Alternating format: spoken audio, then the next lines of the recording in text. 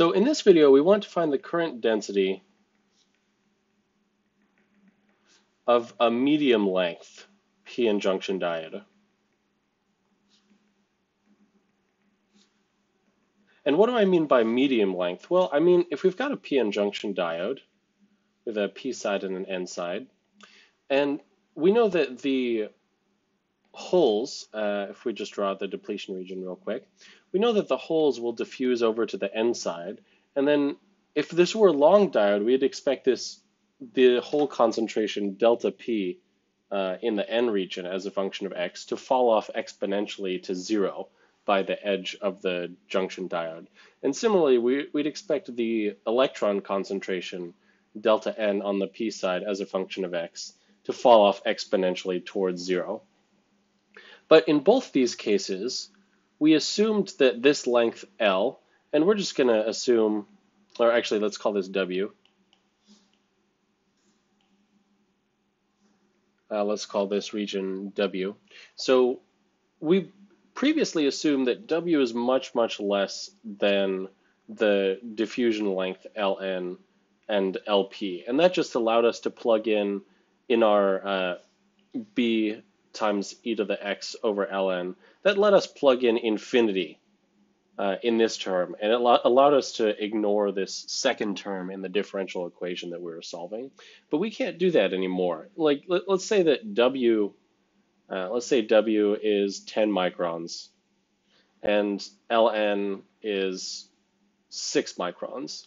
Then we can't say that W is much, much greater than Ln because that's not justified. So if we want to be precise, and if we want a general expression for the current density of a diode of any length, uh, then we're going to need to do a little bit more work. And it's exactly the same process as solving for uh, the current density in a long diode or a short diode.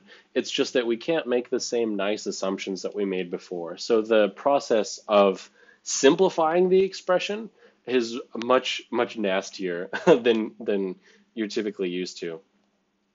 So in previous videos, we said that, uh, well, if I want to solve for the hole, or let's say we want to solve for the electron, uh, if I want to solve for delta n of x inside the p region, uh, we said that that was described by the differential equation, by the continuity equation, which in the region outside the depletion region simplified to this relatively simple equation, that the second derivative of delta n was equal to delta n over ln squared, where we said ln was the diffusion length. It had to have units of length, and it's just equal, or ln squared, uh, and it's just equal to the diffusion length dn times the carrier lifetime tau n.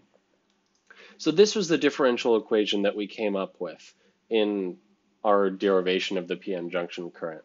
And in this case, we're going to proceed to solve it, but we're going to do so without throwing out any of the extra terms. So we know in general the solution to this differential equation looks like this. Uh, delta n of x is going to be equal to some coefficient a times e to the minus x over ln plus some coefficient b times e to the x over ln. And now to actually solve this, uh, we need to generate two equations from this differential equation. So we need to plug in two different value of x. So x1, x2, they can be whatever we want um, in order to find uh, a and b. And so we need two locations of x where we know the concentration. That's all that uh, applying boundary conditions is. is. Generally, we know the what the concentration should be at the boundaries. So if we take a look at our p-n junction again,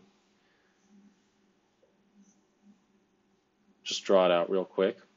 Um, we know that on the, let's, let's solve it on the p side. So we're going to solve for the electron concentration.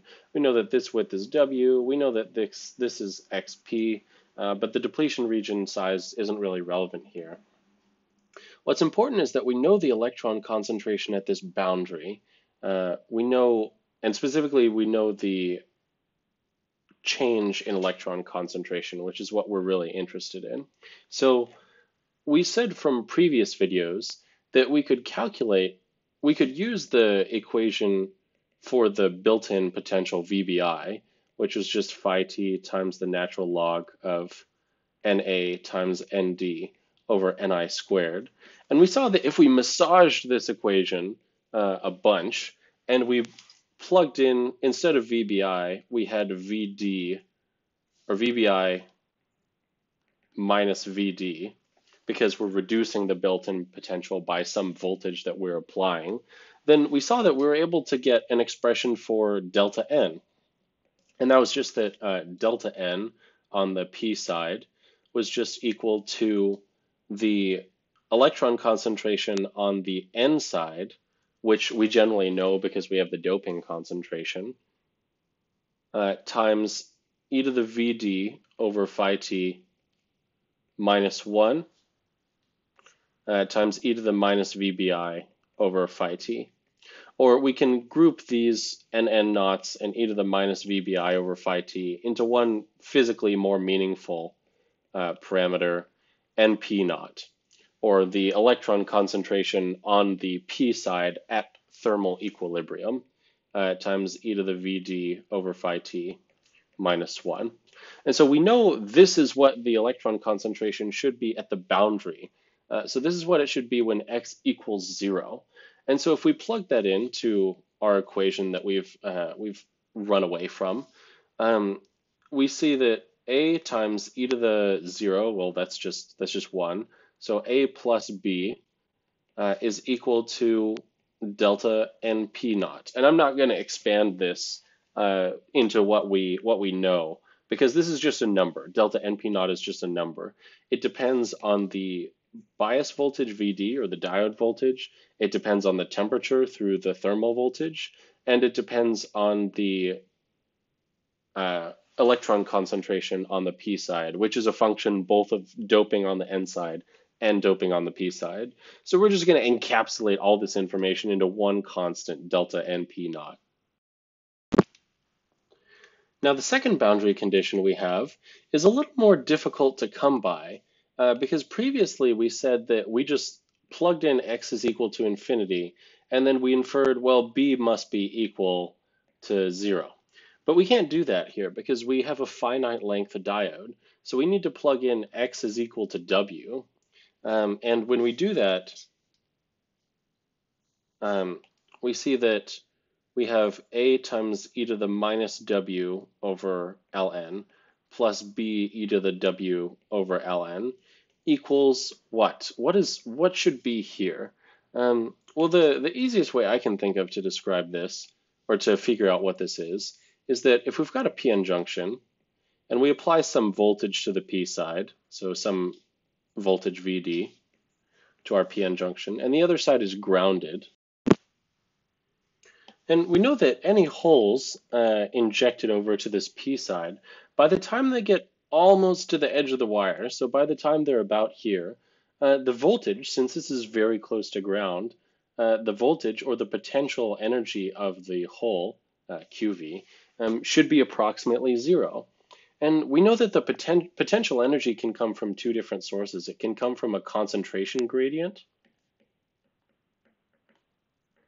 or it can come from an electric field in the context of uh, semiconductor physics. And we know there's no electric field because we assume that was entirely within the, P the uh, depletion region. And so the concentration gradient uh, since there's no potential energy left, there must be no concentration gradient left. Or another way of saying that is delta P uh, must approach zero as we get to the very boundary of the semiconductor. And so here we can just write in now a zero. So we've got two equations and two unknowns, uh, A and B. And in the next video, we're going to be solving uh, these two equations. I'm just going to show you my favorite way of uh, solving them using linear algebra. And then we're going to get a final expression, a much prettier expression uh, for the current density as a function of x. And this is a, a general expression, so it's going to be valid for diodes of any length.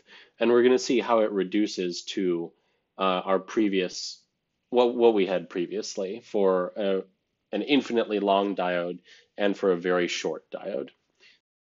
So thanks for watching. If you have any questions or comments, feel free to post them down below and I'll see you next time.